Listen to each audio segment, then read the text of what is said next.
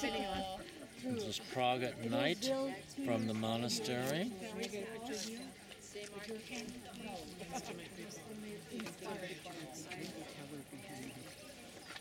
And then we have to go maybe a little bit further.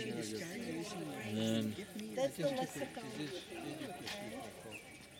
That's the part. that's the tower where we just were. You see the Nicholas Church here? The do one more. I don't philosophers.